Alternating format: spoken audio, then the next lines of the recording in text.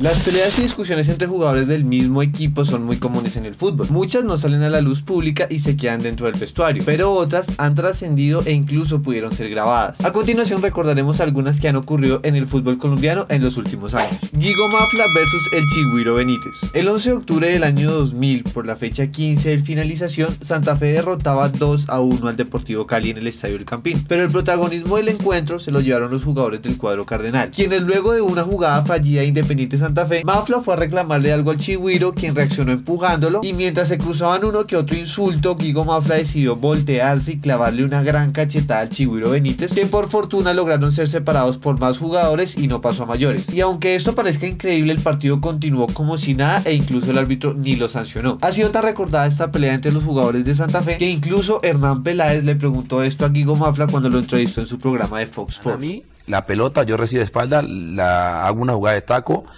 se la tiro a él, él desborda y él ni tira el centro ni pone el pase de gol, entonces se le quitan la pelota y entonces yo lo voy a encarar y le digo que por qué no tira el centro y nada, entonces él se ríe y me empuja.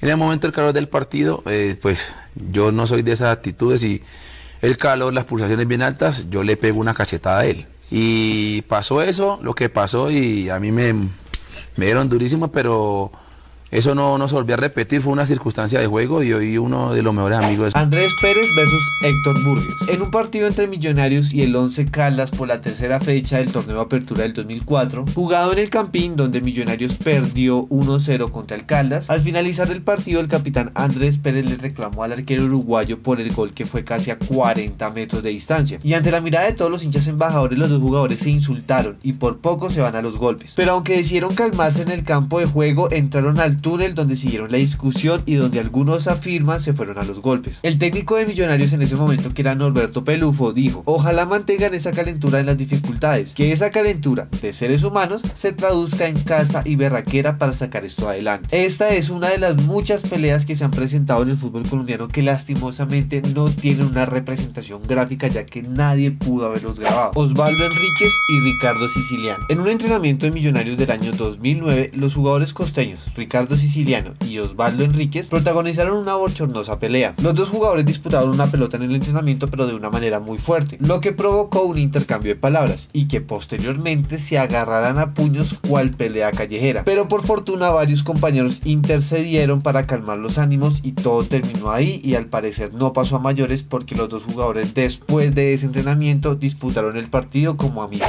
Efraín Biafra y Edward Jiménez. Esta es una de las más recordadas y sin duda la que peor consecuencia tuvo. Cuando ambos jugadores compartieron en el Itagüí en el año 2011, protagonizaron una de las peleas más violentas. En un entrenamiento del equipo, los ánimos se calentaron por un punto cuando jugaban fútbol tenis, lo que generó el intercambio de palabras que provocó a su vez el descontrol de Biafara. Samuel Vanegas intentó controlarlo, pero el delantero se zafó y encaró a Jiménez soltándole una fuerte patada en la cara que le produjo tres fracturas al delantero santanderiano en el rostro. Bueno, sí, no le iba a pegar una patada en la cara le va a fracturar una pierna. Pero bueno, todo esto fue un gran escándalo, pues el ojo de Eduard Jiménez se vio comprometido y pudo haber sido una tragedia. El afectado pensó tomar acciones judiciales, aunque finalmente no lo hizo, y el agresor, en este caso Biafra, entre lágrimas pidió perdón en una rueda de prensa. Anthony Silva y Charles Monsalvo. En la segunda fecha de los cuadrangulares de la apertura 2013, el Tolima derrotó 2 a 1 al Deportivo Pasto. El delantero había sido suplente y marcó el gol del triunfo en los últimos minutos. Al parecer Monsalvo le echó en cara, o más bien le dedicó ese gol al arquero paraguayo, pues él consideraba que no era titular por la influencia que tenía Anthony Silva, que era el capitán del equipo. Cuentan algunos testigos que en el camerino se fueron a agredir mutuamente y Monsalvo fue el que sufrió un corte en uno de sus labios, por lo que expresó a los medios de comunicación que pensaba renunciar al equipo, algo que finalmente no hizo. Y el hecho de que él haya hecho un gol, eso no le quita la falta de respeto que le hace a todos los compañeros. El gol no está por encima de, mi trabajo, del trabajo de los de todos los 30 que estamos día a día trabajando. Luis Quiñones versus Todos Junior de Barranquilla. En un partido en el que Atlético Junior se enfrentaba contra Llaneros en el Metropolitano por los octavos de final de la Copa Colombia del año 2014, Luis Quiñones fue a la tribuna junto a otros jugadores que no habían sido convocados para el encuentro. Y según afirman algunos hinchas, desde el minuto 1 Luis Quiñones ya tenía un alto estado de ebriedad, lo cual hizo que durante todo el partido estuviera insulte e insulte e insulte a sus compañeros en cancha porque estaban sufriendo el partido contra el equipo de la B, lo cual provocó que Víctor Danilo Pacheco, uno de los asistentes, le pidiera que se callara. Pero este, en vez de callarse, empezó a insultar a Pacheco. Al llegar al camerino todo se descontroló y se fueron a los golpes hasta que Luis Narváez, uno de los jugadores del Junior, se metió para defender a Pacheco. Finalmente Quiñones fue apartado del equipo. Harrison Mojica y Harold Preciado. Durante el año 2016 se presentaron dos peleas que de manera increíble ninguna persona tuvo la posibilidad de grabar. Solamente nos basamos por testimonios. En este caso, el testimonio de Carlos Antonio Vélez, que informó sobre la pelea de dos jugadores en un entrenamiento. Pecoso Caso y algunos directivos desmintieron esto, pero días después el periodista mostró un chat con uno de los futbolistas que le confirmó y le describió el enfrentamiento. Vamos a suponer que estamos en el entrenamiento y Mojica le está replicando a Preciado, pues porque como que no, no lo ve corriendo ni lo ve haciendo nada. Y Mojica le dijo, dale Preciado, metele, metele, metele. Y Preciado le respondió, vení y corres vos, maricón. A lo cual Mojica le respondió, te ganaste un torneito y ya te la crees, maricón. A lo cual Preciado le respondió, y vos que no has ganado nada hoy. A lo cual Mojica le respondió, ¿y tú quién te crees? Todavía no eres nadie, marica. Y apenas terminó de decir la palabra marica, ya se estaban prendiendo a puños. Joel Silva versus Wilmar Barrios. En ese 2016, pero en el Tolima también hubo una pelea que ninguna persona tuvo la posibilidad de grabar. Por la segunda fecha de la apertura del 2016, el Tolima iba perdiendo 4 a 1 contra el Deportivo Cali en el primer tiempo. Luego en el entretiempo, cuando estaban llegando los camerinos, se dice que el arquero y el volante discutieron, pero que no solamente se quedó ahí, sino que luego se fueron a los golpes. Esto justificaría la razón de Alberto Gamero, que muchos hinchas en ese momento no entendieron, de sustituir a los dos jugadores para el inicio de la etapa complementaria. Y por último tenemos el caso más reciente de Dairo Moreno y Steven Lucumí. La fecha 14 de la Liga Águila de este presente año no tuvo como protagonista los resultados, sino a los dos jugadores de Atlético Nacional. Y en este caso no por sus habilidades deportivas, sino por la bochornosa pelea durante el partido entre el Deportivo Cali y el Atlético Nacional. Cotejo donde Lucumí terminó expulsado tras el cabezazo que le pegó a Dairo, el cual ya estaba dispuesto a cobrar Lucumí, pero llegó Dairo Moreno, lo empujó, le quitó la pelota y eso provocó que Lucumí se descontrolara y le pegara su cabezazo. De inmediato expulsaron a Lucumí y le colocaron varias fechas de sanción, pero la peor parte la llevó Dairo Moreno que terminó siendo expulsado del equipo. Déjame por favor acá en los comentarios cuál crees tú que ha sido la pelea más brava entre jugadores colombianos en el fútbol colombiano, porque yo sé que si estamos hablando de peleas tenemos un capítulo dedicado a Teófilo Gutiérrez, pero en este caso quería recordar todas las peleas acá en el fútbol colombiano. Si a ustedes les gustaría que habláramos de jugadores específicos colombianos que han tenido problemas o que han hecho cosas en el exterior o en cualquier lado, déjenmelo por favor acá en los comentarios y de paso díganme cuál de estas peleas creen ustedes que fue la peor. Espero que se les haya gustado un montón. Si fue así, no olviden regalarme un buen like para que este contenido llegue a muchas más personas y suscribirte al canal si todavía no lo has hecho. La verdad me pareció muy curioso hacer este tipo de recopilaciones porque aunque empiezan con peleas, insultos y bueno, se van a los golpes y eso, en la mayoría de estos casos los dos jugadores involucrados ahora son muy buenos amigos. Sí, suena muy raro que se agarren a los puños y después estén allá almorzando juntos, pero bueno, así es el fútbol. Muchas veces nos calentamos con nuestros propios amigos jugando o con hinchas de otros equipos, pero al final pues son nuestros amigos. Pasa el momento de calentura y todo normal. No olvides dejarme acá en los comentarios qué piensas sobre estas peleas entre compañeros, qué peleas recuerdas en el fútbol extranjero también. Y de paso vuelvo y lo repito, aunque yo sé que ya sonará muy mamón, pero puedes dejarme las ideas de la segunda temporada que tú tengas en la cabeza acá en los comentarios. Así que no siendo más por esto, yo te recuerdo que mi nombre es Juan Camilo y si todo va bien en la historia que te voy a contar a continuación, porque pues no a todos les interesa, el siguiente video será el inicio de la segunda temporada y el inicio de la semana Camilo MD en la cual vamos a subir un video diario por, yo creo que por tiempo ilimitado. Así que esperemos que todo salga bien. Te recuerdo que mi nombre es Juan Camilo por decimoquinta vez y nos vemos en el siguiente video.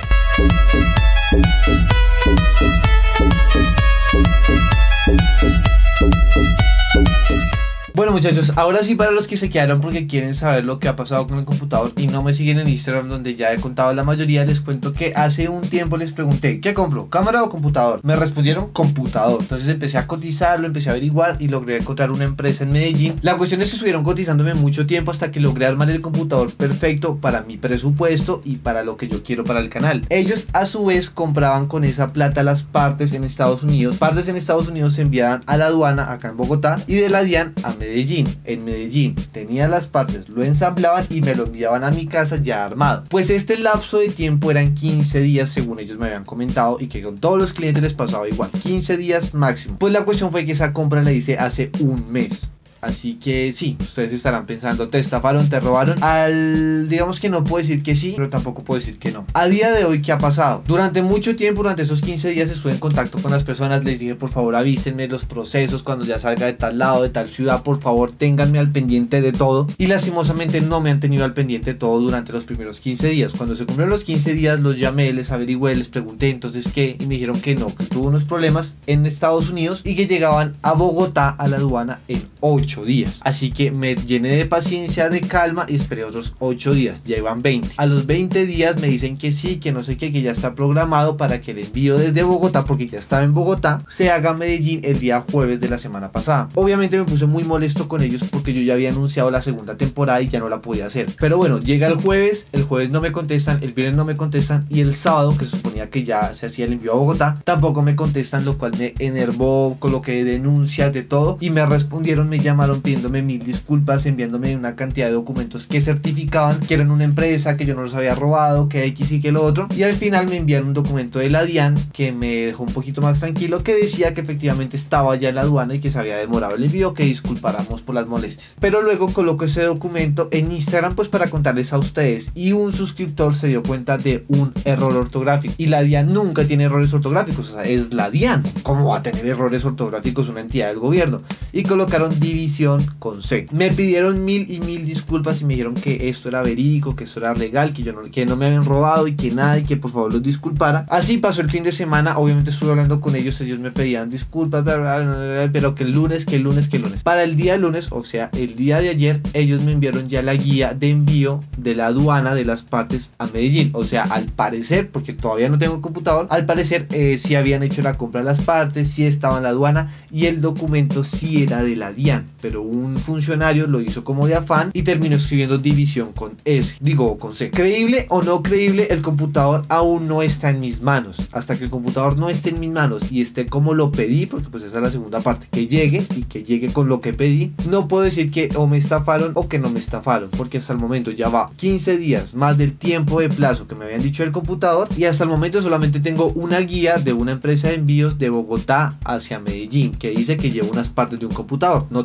nada más que me certifique eso. Así que bueno, confiemos que todo haya salido bien. Les recuerdo que mi nombre es Juan Camilo, ya el video se me hizo muy largo y nos vemos en el siguiente video que esperaría yo. Síganme por Instagram y les comentaré, sea el video de la segunda temporada.